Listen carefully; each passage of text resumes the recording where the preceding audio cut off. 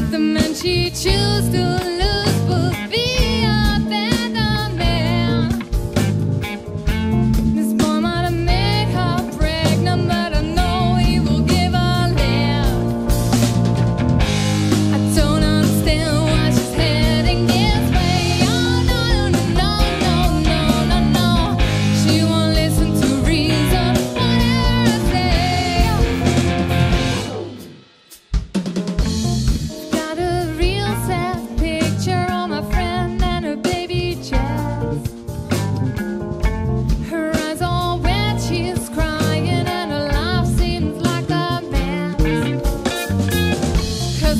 to choose.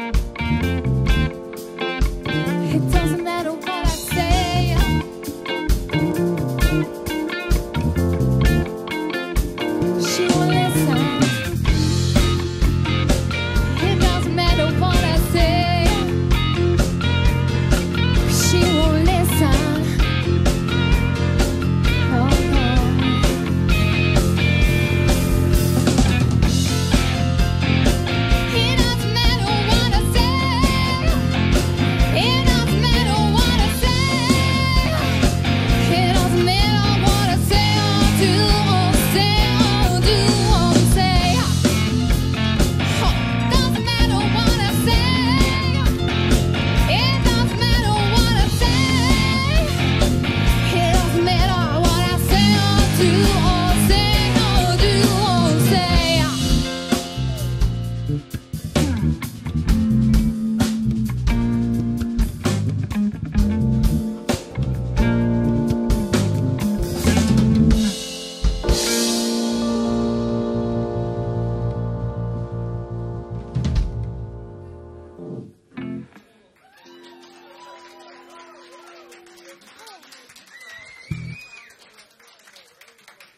you, wel.